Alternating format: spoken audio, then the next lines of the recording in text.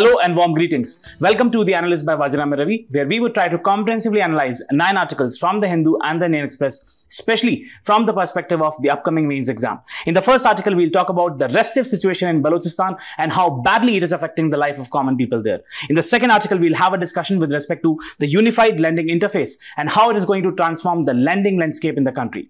Next, in the third article, we'll have a discussion with respect to the new meteorological mission, which aims to enhance the weather forecasting ability of the Indian Meteorological Department. Then in the fourth article, we'll have a discussion with respect to the new India literacy program and the definitions of literacy which are given by the Ministry of Education. Then in the fifth article, we'll have a discussion with respect to the two new US-India agreements and how they're going to transform the defense partnership. Finally, in the preliminary snippet sections, we'll have a discussion with respect to some of the very important topics for the preliminary exam. Now, the very first article is about the unrest in Balochistan. So, what we recently witnessed was that that in three separate incidents, insurgents killed more than 38 people in the Balochistan region of Pakistan. Now, this points towards the restive situation which is there in Balochistan. And what we also have seen is that there have been continued protest movements and especially led by women. Now, this calls for an urgent need of action by the Pakistan's establishment. Now, this is a part of GS2 India and its neighborhood relations. Now, before we talk about this topic, let us first talk about what is this Balochistan region, right?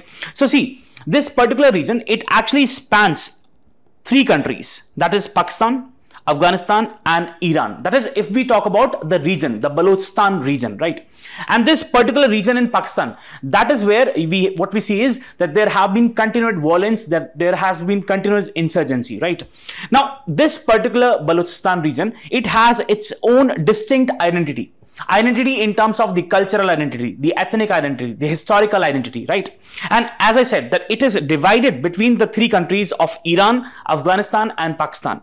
Now what you need to keep in mind is that despite being one of the places in Pakistan which has one of the most abundant natural resources, if we talk about the mineral resources, for example, the coal or petroleum or gold or copper, it is one of the most backward regions in the Pakistan right. And what we that is the reason what we see what we saw that there have been regular protest movements. And the recent protest movement which was led by the Baloch Yakjehti committee. Now this was actually it wanted to talk about the human rights violations which are being carried out in Balochistan. It wanted to talk about the economic exploitation which is being carried out in the Baloch region. And it also wanted to raise up the issue with respect to the government's inability to provide the basic amenities to the people of the Baloch region. Right. Now again as this protest continued, what happened was that, that it resulted into the clashes and the establishment, the police authorities, they suppressed, they brutally suppressed the protesters, right?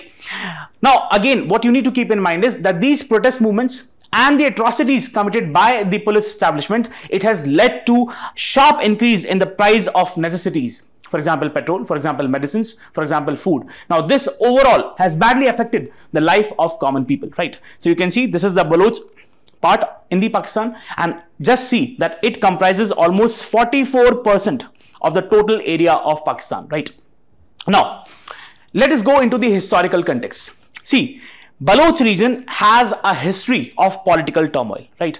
It was in the year of 1947 when the Khan of Kalat, he actually declared the independence in 1947. But Pakistan, through its own tactics, through its own pressure tactics, it actually, through the instrument of accession, it integrated Baloch region as a part of its own territory, right?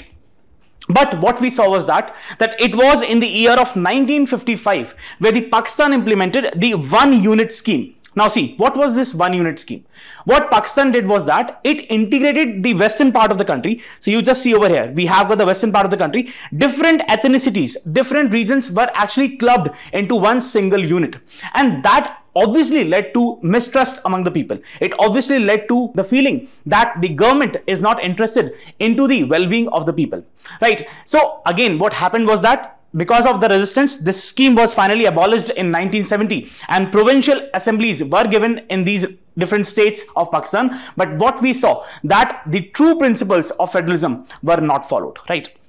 Now, again, what you need to keep in mind is that over here you have one of the very important port cities and that is Gwadar, right? Now, this is geopolitically very important area. We'll come to this why. Now, this port of Gwadar initially it was actually a part of the Sultanate of Oman, right? And it was in the year of 1958 that Pakistan purchased it from the Oman, right? Now, again, what we need to keep in mind is that this particular place, Gwadar, it has been the source of tension and also with respect to India because China is implementing a lot of energy projects, a lot of investments are being made in different domains in ports in this particular Gwadar port. Now, this is a part of China's CPEC, China-Pakistan Economic Corridor right? Now this china pakistan economic corridor it basically starts from kashgar in china it traverses through the pakistan and then it ends at gwadar right? And this also traverses through the illegally pakistan occupied territory of india and therefore it affects India's sovereignty, right? So what we need to keep in mind is that there are a lot of reasons and the local people, the local population is not satisfied with the kind of developmental projects which are being taken by the government and by the Chinese agencies in particular. Now, talking about the root causes of the unrest, See, as I told in the beginning, that there is sort of an economic exploitation which is being carried out, and especially by these Chinese firms. So, what we need to keep in mind is that it has 44% of the country's landmass, but it has only 4.5% of the Pakistan's GDP and 4% of its national electricity consumption. Can you imagine? A particular area which has 44% of the landmass and it is just consuming 4% of the electricity consumption, right? So just think about the deprivation, the, the kind of conditions, the bad conditions which pe where people live in, right? Next is lack of provincial autonomy as we discussed. So Pakistan has never given full autonomy to these states and time and again Islamabad controls over Balochistan and different states that has increased and that has led to fueling discontent among the people of Balochistan. Next is that control over the resources also. So Pakistan has been controlling the local resources the local natural resources of Balochistan and this obviously is fueling discontent among the people. Next is human rights violations. Now, Pakistan has been carrying out the counter-insurgency operations in these particular areas. And these counter-insurgency operations, they include the enforced disappearances. And ultimately, these enforced disappearances of people have resulted into the fake encounters or extrajudicial killings, right? According to a civil society group, that is the voice of Baloch missing peoples, what it says is that almost 7,000 people 7,000 people have been actually killed from 2002 till 2024. Can you imagine? Now, this is a huge number, right? Next is China's role, as we just talked about, that there are concerns, serious concerns with respect to, see, there are concerns with respect to India, obviously, because it is hurting India's sovereignty, but even in Balochistan, there are concerns with respect to the local people over there because what China is doing is China is investing in the coastline areas, in the long coastline which the Balochistan province has, and it is actually acquiring a lot of land masses. Now, this is affecting the livelihood of the locals in the Balochistan. Moreover, China is using trawlers for fishing. Now, this is affecting the local fishing community over there, right? Next is that there is a potential scenario where the Chinese firms can militarize or the PLA, the Chinese People Liberation Army, it can militarize the Gwadar port. Now, if it happens, it would be a grave security threat for India. And also it would provide China the ability to project its power in the very strategic Gulf of Oman and Persian Gulf. Now, can you tell me that we have a very important Strait of Hormuz. The Strait of Hormuz is between which two countries? Do write in the comment section, right? Now, what should be the way forward, right, in this particular crisis? The first and foremost is that there has to be local stakeholder participation. See, what Pakistani establishment is doing is that they are focusing upon very few big ticket infra projects in this particular region, right? But they are not focusing upon the livelihood generation opportunities for the local people, right? So they have to give adequate resources they have to make sure that there is relative autonomy in this particular region so that people can have their own livelihood opportunities. Next is provincial autonomy, very important. True principles of federalism need to be actually followed in this particular area the Islamabad establishment should keep in mind that it should not time and again restrict the freedom of the people over there. It should not time and again make the people realize that they are subordinate to the Pakistani establishment, right? So there has to be adequate provincial autonomy. Next is respecting human rights. Very important. So these cases of the enforced disappearances, they have to be done away with there has to be proper scrutiny of such instances and we need to actually watch over that different human rights organization actually make sure that the Pakistani establishment does not use this particular enforced disappearance as a part of its counterinsurgency operation. Next, there has to be dialogue and reconciliation. See, this is the way forward. If you want, see, ultimately, again and again if whenever people revolt there comes a situation where the authority has to yield so we have to provide a sort of a transitional process where the Pakistani establishment can slowly start give uh, the relative autonomy to the people of the Balochistan and then there can be the full transition to a democratic setup. Next is respecting the ethnic identities. Very important. What the Pakistani establishment needs to keep in mind is that we have different ethnicities in different areas in Pakistan and they should not club into one particular entity, right? So relative autonomy has to be provided to these ethnic communities as well. Next is addressing the challenges posed by China's involvement in the region. Now this is very important because China, what China has been doing is what local people say is that despite being a more, more than a decade, the fruits of the development projects which are being carried out by the Chinese firms, they have not given adequate results and instead it is affecting the livelihoods of the local communities. So there needs to be a check on what the Chinese firms are doing.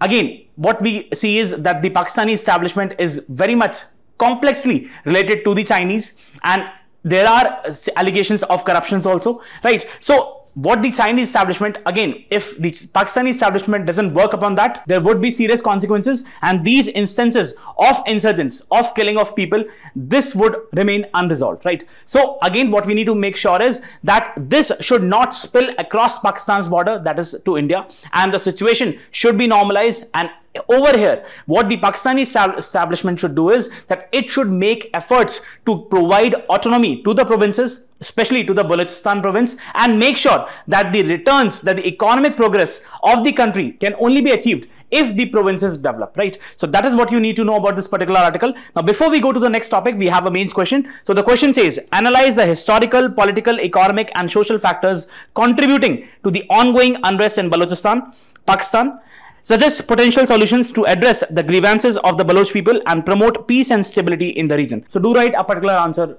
to this question. So the next article is with respect to the unified lending interface. So the Reserve Bank of India's governor has said that there would be the launch of the unified lending interface. Now this is going to be on the lines of the unified payment interface, the UPI, which has transformed the ecosystem, that is the ecosystem of the retail payments in India. And this is going to transform the lending landscape in the country. So we'll see what this ULI is all about. Now this is a part of GS2, Government Policies and Interventions for the Development in Various Sectors and and GS3, inclusive growth and science and technology. Now, see, please understand that whenever we have, we talk about the digital credit delivery, it depends on the data. That is, there has to be the transfer of data from one source to the other for the credit appraisal of the borrower, right? But what we see is that there are a lot of entities which are involved in this particular process. For example, we have got the central government. For example, we have the we have the state governments. We have the credit information companies. We have got the account aggregators. We have the banks. We have got the other financial ins institutions. So there, the data is in silos, right? It is in separate entities. Different entities have their own set of data, right? Now this creates the issue issue with respect to the hindrance in the delivery of credit that is timely credit. And making sure that the credit delivery process is efficient right?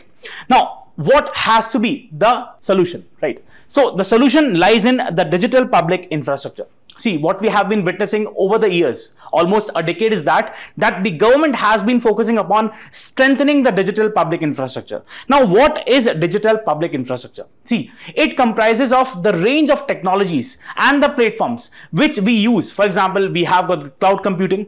For example, we have got the digital identity identifiers platforms for example, we have got the broadband connectivity, right? So all these things make up the digital public infrastructure. So as to make sure that different governments, we have got the businesses, we have got the startups, we have got the individuals, they can access the internet and then they can ultimately get the benefit of these digital services. Now, one more reason why the government of India is focusing upon this digital public infrastructure is that, that it is aiming to transform the digital economic setup in the country and it aims to cross the 1 trillion mark, the 1 trillion mark by the year 2027-28 right? So that is what the aim of the government is all about.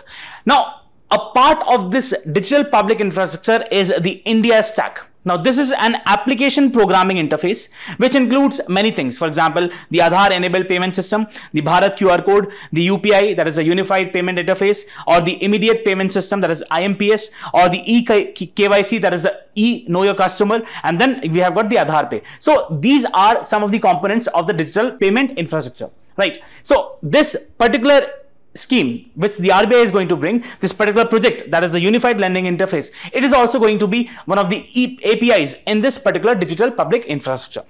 Now, what is this unified lending interface? As I said, that this would facilitate the seamless and consent based flow of digital information through various entities, central government, state government, right, or account aggregators, the banks, the financial institutions. Next, as I said, it would flow the information from multiple data service providers to the lenders. Now, again, the objective is that there has to be reduction in the credit appraisal time, especially for the rural borrowers or those borrowers who need very small amount of money. See, again, we have got a large segment of the population which needs a very small amount of money, right? Which needs a very small am amount of money when we talk about the loans, right? But even that amount is not being, being able to disburse to these particular people. So over here, what is important is that there has to be a proper channel of transfer of the digital information so that timely and adequate credit can be given to these small borrowers. Next, this particular ULI, that is a unified lending interface, it would have common and standardized APIs, that is application programming interfaces, and it would be based on plug and play approach so that different entities can use and can access the information, the digital information anywhere, right? So that is based on the plug and play approach. Now, what are the key features of this unified lending interface? The first is loan comparison. That is, it would provide the ability to the customers to so that they can compare the various loan pro products which are being given by different financial institutions, right? So the customer would be in a better position to make an informed choice. Next is online application. That is, the whole process is online. That is, starting from the submission of the documents to the final credit disbursal, the whole process is online, right? There is no manual intervention. Next is document uploading. That is, even the uploading of the document is in the online format, right? And thus it would make sure that there is no fudging of data. Next is loan tracking the customers can actually access that to which what is the status of their loan application right? To which stage their loan application has reached and finally whether it has been approved or not. Next is personalized recommendation. This particular ULI would be in a position to give the information with respect to what the need of a borrower are.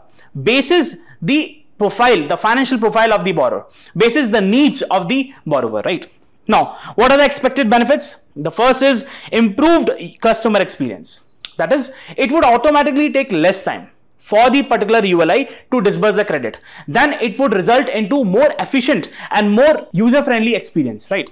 Next is the increased financial inclusion. Again, small borrowers, rural borrowers would be able to access more credit product products, right? So that would automatically lead to the enhanced financial inclusion. That is more and more unbanked areas or underbanked areas would have the access to adequate credit. Next is reduce cost of lending. See, please understand that if we have got many players who are, who would be actually joining this ULI, that would automatically lead to a more competitive space. And that competition would usher in a scenario where the loan products are actually are more economical for the common people, right? Therefore, it would lead to the reduction in the cost of lending. Next is enhanced competition, as I said. So more and more number of people, more and more number of lenders would join this ULI platform and it would automatically usher in the competitive spirits. And then it would lead to more affordable products, right? Now, what are the challenges and considerations with respect to this particular platform? The first and foremost is the data security. See, this ULI platform would handle a lot of data, right? And therefore, there is the issue of data fudging or data leakage, right? So uh, adequate attention has to be paid to the data security framework. Next is integration with lenders. So the ULI platform would have to make sure that different lenders across the spectrum, the financial spectrum, they are able to access this particular ULI, right? Then the user experience adequate literacy ha ha will have to be provided to the common customers, to the customers so that they can access this particular product, so that they can make sure that how to use this particular platform, right? Next is regulatory compliances in terms of the data protection law, in terms of the financial regulations. So the ULI would have to make sure that it is in line with the regulatory structure. So what we see is that like the UPI, as it transformed the retail payment uh, ecosystem in the country, the ULI is also expected to transform the lending landscape in the country, right? So it remains to be seen what the results of ULI would be, but adequate funds and adequate impetus should be given to this particular projects so that it can actually lead to these following benefits. So that is what you need to know about this particular unified lending interface. Now, before we go to the next topic, we have a question. So the question says, the unified lending interface is expected to revolutionize the lending landscape as unified payment interface transform the retail payment systems? Elaborate. So do write a particular answer on this question. So the next topic is with respect to the meteorological mission. So recently the government of India has said that it is going to launch a new mission which is worth 10,000 crores in special reference to the Indian Meteorological Department so that it can give more accurate weather predictions, more accurate weather forecasting in reference to the extreme weather events and the local predictions, right? Now this is with respect to GS1 geography and GS3 environment and climate change. See, especially after 2012 when the Indian government implemented the monsoon mission. The forecasting ability of the Indian Meteorological Department, it significantly improved. Now, before I go ahead, you have to tell me that under which department does the Indian Meteorological Department comes, right? So under which ministry, sorry, the Indian Meteorological Department comes. So do write in the comment section. Now, what we saw was that, that after the monsoon mission was implemented in the year 2012, there was significant increase in the weather forecasting ability of the Indian Meteorological Department. But as of now, what we see is that when it comes to the specific events, or when it comes to the short-lived events, the forecasting ability or the the results of the forecast, they are not accurate. And a particular research which is carried out by the Indian Express, it shows that in the month of July, with reference to the Mumbai rainfalls. The predictions of the Indian Meteorological Department were off the mark by more than 40%. Right. So this points towards the need of having a robust weather forecasting mechanism. Now, please understand that the science of weather forecasting it is full of uncertainties and these uncertainties increase as you go into the specific locations if you want to know about a particular specific location, the weather forecast of that location, definitely the uncertainties would increase. Or if you want to know about a very short-lived event, within one or two hours span of time, then definitely the uncertainties would increase. So what we see, see is that especially in, in the last decade or in the last two decades, there has been human induced climate change and that has led to the increase in extreme weather events.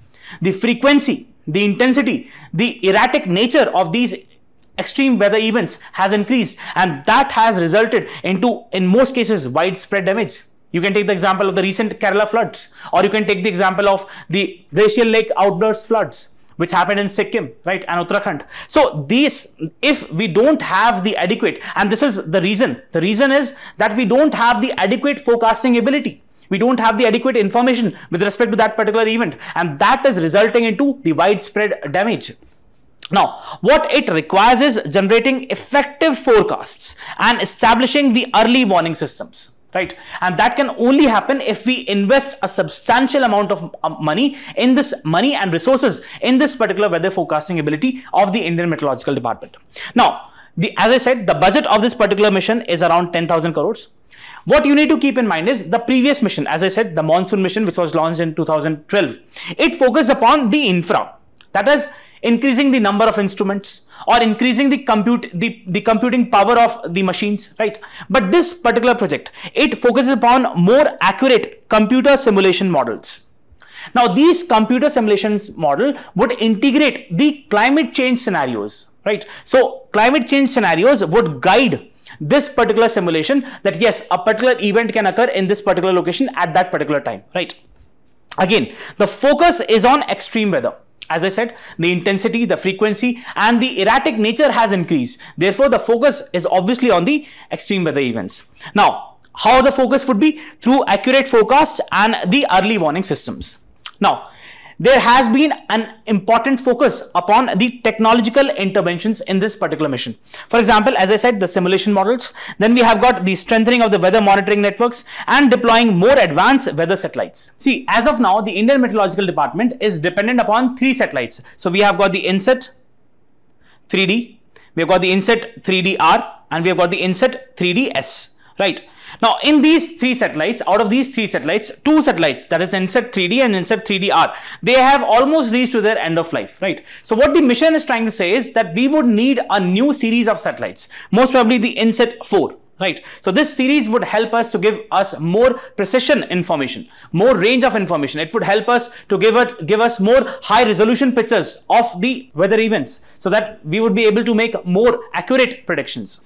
Now next is integration of artificial intelligence and machine learning so this particular mission is it is also trying to focus upon integrating the artificial intelligence and machine learning so as to make sure that the simulations are more specific. So the simulations give us the right projections with respect to a particular area or with respect to a particular extreme weather event, right?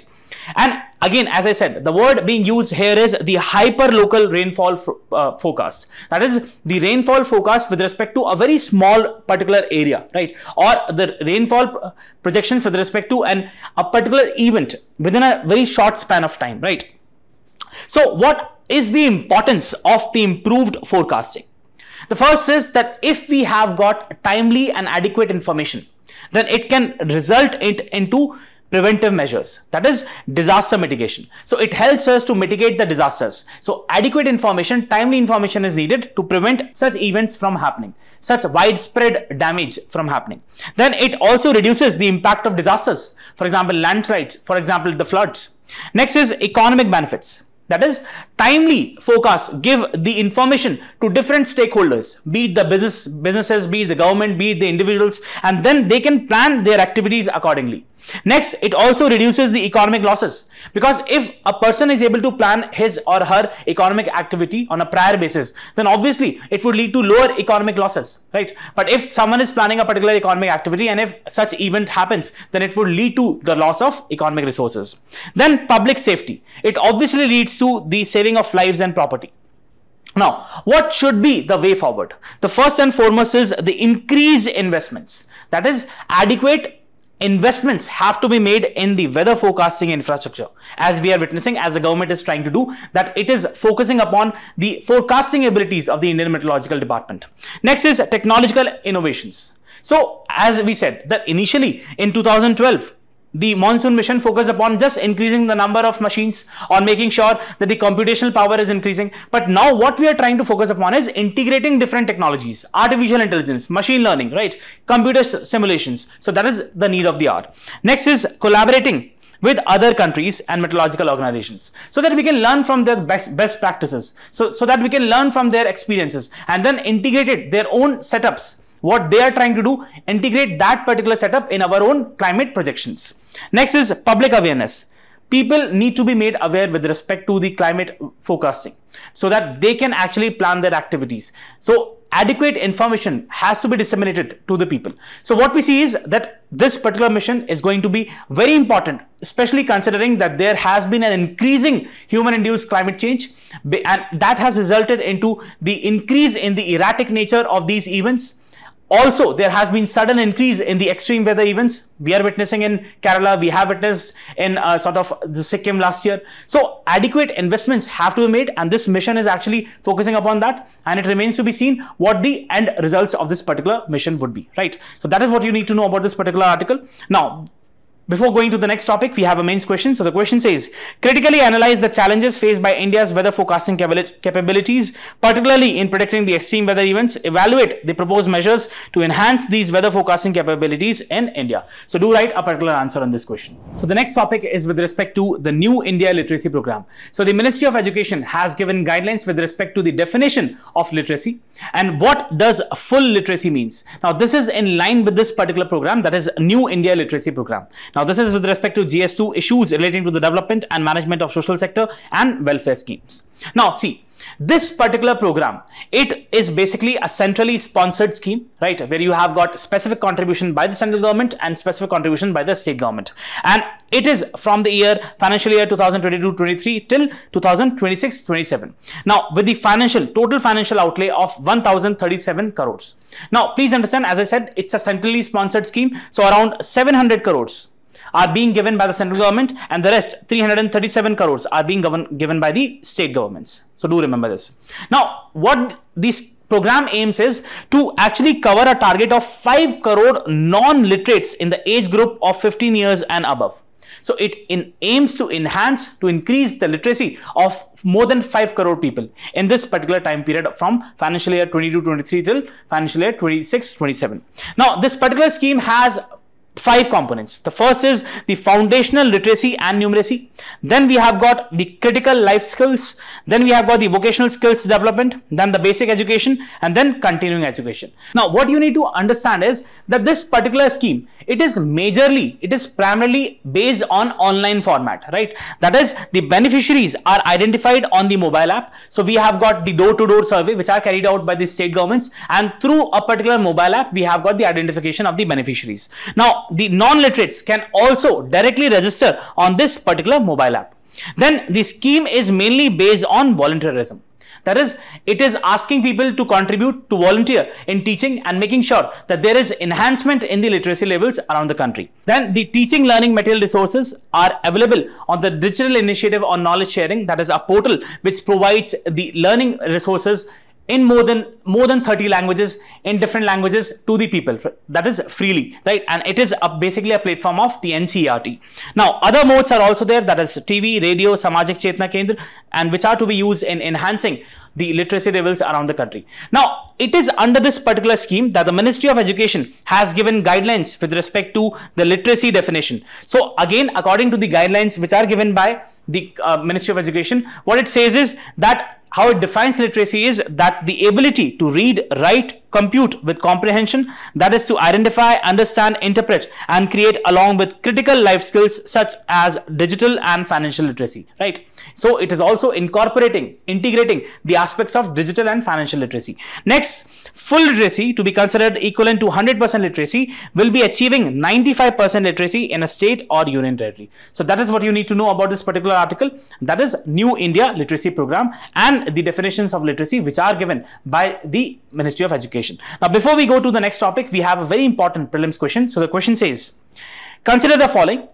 Aarogya Setu CoWIN, DigiLocker and Diksha. So we just discussed what, what Diksha was all about. So Diksha is what? Digital Initiative for Knowledge Sharing. Now this is, this particular soft, uh, platform by the NCERT, it is open source, right? So it is an open source platform. Now you need to tell me that which of the above are built on top of the open source digital platforms. The first is the 1 and 2 only, the second is 2, 3, 4 only, the third is 1, 3, 4 only and the D is 1, 2, 3, 4 only right. That is all. Sorry. So you need to tell me which of the following is the correct answer. Do write in the comment section. So the next article is with respect to the two new US India agreements that is in special reference to the defense partnerships. So the first agreement is security of supply arrangement and the second agreement is about memorandum of agreement with respect to the assignment of liaison officers, right? So what we see is that there has been increasing defense partnership when it comes to India and the US, and it remains to be seen what and how these defense agreements are going to enhance the security of both India and the US. Now, this is with respect to GS2, bilateral, regional, and global groupings and agreements involving India. Now, talking about the first agreement, that is security of supply arrangement.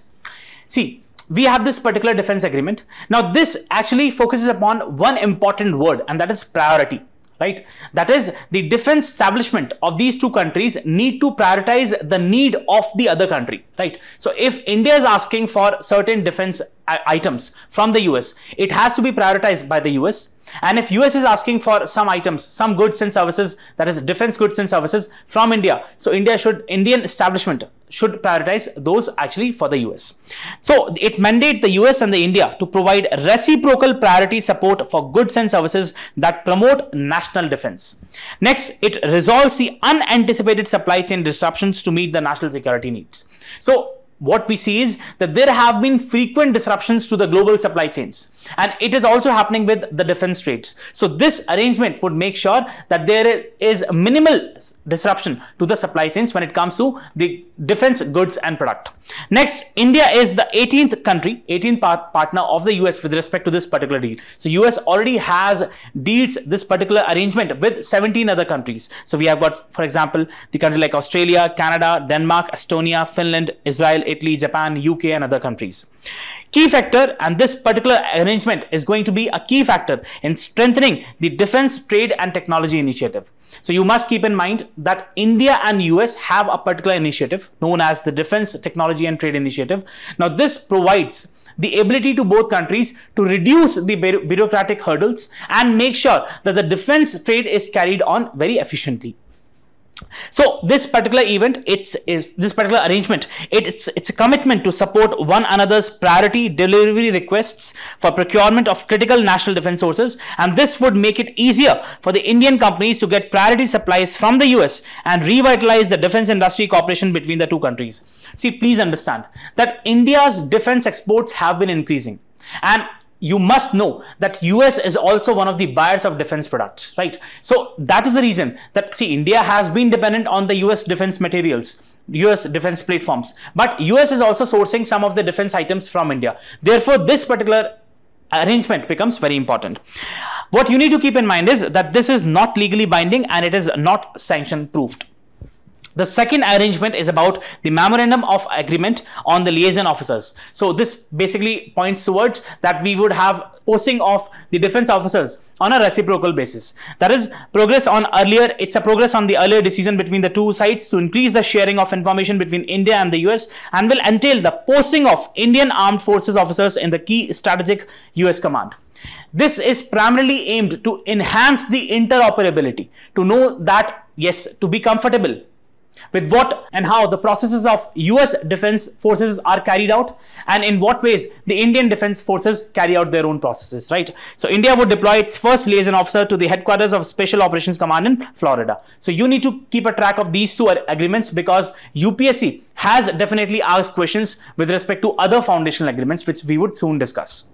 Now coming to the prelims snippet section, we have got the first article as the initiative on critical and emerging technologies. So as we just discussed that India and US have been focusing upon increasing the defense partnership. And one of the core components of this partnership is the initiative on critical and emerging technology. See, we all know that there is a great focus upon the new, the critical and new emerging technologies. We have got the artificial intelligence, we have got the cloud computing, the supercomputing. So that is where what we are witnessing is a greater interaction between India and US when it comes to these critical and emerging technologies. So through the initiative, through this particular initiative, India and US have unveiled a roadmap for enhanced collaboration in high technology areas. For example, we have got the artificial intelligence. For example, we have the quantum computing we have got the semiconductor we have got the supercomputing we have got the wireless uh, communications. So in these particular area what we would see is a greater interaction between india and the us what you need to keep in mind is that this particular initiative it is being carried out by the national security council of both the countries the National Security Council is carrying out this particular initiative and focus is on collaboration and co-development. So the benefits, so that the benefits of these projects can be actually shared by both the countries and they can actually strengthen the overall national security architecture of these two respective countries. So that is what you need to know about the initiative on critical and emerging technologies. Now the next topic is with respect to the four foundational agreements. This is a very important topic and UPSC has focused upon these foundational agreements because that serves as the backbone of the defense partnership between India and the US, right? So this is in the context of India and the US. So the first in 2002, India and the US had signed the General Security of Military Information Agreement to facilitate the sharing of military information, that is GSOMIA. Then we had the Logistic Exchange of Memorandum of Agreement in the year 2016 and it established the basic terms, conditions and procedures for reciprocal provisions of logistic supports, supplies and services between the two militaries. Then in 2018, we have got the Communications Compatibility and Security Agreement, that is COMCASA. Now, this is an India-specific version of the Communications and Information Security Memorandum of Agreement, right? So, this is, we have got the CISMO, and out of this CISMO, we have got the Indian variant, that is COMCASA. Now, this was signed to secure the military communications between the two countries. So we it focuses upon the military communication with the two countries, facilitate the access to the advanced defense system, and enable India to optimally utilize its existing US origin platforms. Then what we had in 2020 was that basic exchange of cooperation agreement. It aimed to facilitate the sharing of military information, including maps, nautical charts, and other unclassified imagery and data. Finally, in 2019, we had the industrial security annex to GSOMIA, which was signed to facilitate the exchange of classified information between the defense industries of the two countries. So this industrial security annex, it was basically to integrate the industries, the defense industries in this information sharing mechanism. So this is very important. You need to keep a track of these four foundational agreements. So that is it, what you need to know about these agreements. Now, the next topic is with respect to the Southeast Asia mapping. See, UPSC has had a record of asking questions with respect to the geographical locations around the planet. So this becomes really important. Now, in this particular article, there was a focus upon the Singapore. So the country of Singapore lies here right so just remember that now there are very important geographical locations here for example we have got the strait of malacca this is very important. So the Strait of Malacca is a very important strategic choke points. It's in special reference to the Chinese export and import, Chinese exim, right? Next, we have got the island of Sumatra. So this is the island of Sumatra. We have got the Java here, the island of Java. And this small, what you see over here, it is the island of Bali. Bali. So do remember, right? There are important straits. We have got the Sunda Strait between Sumatra and Java, and we have got the Lombok Strait here. Right. Over here, we have got the Gulf of Thailand. We have got the Gulf of Thailand, and here we have got the Gulf of Tonkin. Tonkin, important. And here, this is the Hainan Island, right? Hainan, which is a part of China. Here we have got the Taiwanese Strait. Coming to the water bodies, we have got the Celebes Sea here the Sulu Sea here and we have got the Flores Sea here. Over here we have got the Java Sea. Right. So these are the important locations. As I said, we have got the Sumatra Island, we have got the Java Island, we have got the Bali Island, then we have got the Strait of Malacca, then we have got the Gulf of Thailand, then we have got the Gulf of Tonkin, Hainan Island, then we have got the Sunda Strait, and then Lombok Strait and the other water bodies, for example, the Flores Sea, the Celeb Sea, the Sulu Sea, right? So keep a track of these geographical positions. It might be important for the UPSC exam. Now, the next topic is with respect to the Northeast India and Myanmar. Now, this particular geographical locations become really important because what we are witnessing is that there is a very serious situation in Myanmar. There has been the rise of ethnic armed organizations, right? There has been for example we have got the arakan army or we have got the brotherhood alliance right or we have got the kachin independence army right so this becomes important because this is spilling on the indian side See, please understand that India and Myanmar share a border, land border of around 1,643 kilometers. And we have got the state of Arunachal, which shares around 520, which then we have got the Nagaland, then we have got Manipur, and then we have got Mizoram. What you need to keep in mind is that there are some tribes which are actually common on both the sides. For example, what we see is that we have a lot of Nagas which live on both the sides of the border. We have got in Manipur a particular community which is the Kukis. Kukis. Kukis share a relation, a tribal relation with the Zo. Zo community in Myanmar. That is primarily in the Chin state. So we have got the Chin state here right? So in the chin state what we see is we have got the zo community and that shares a tribal relation with the Kukis now in manipur you must know that there was some tension between the Kukis and the dominant Meiteis, right?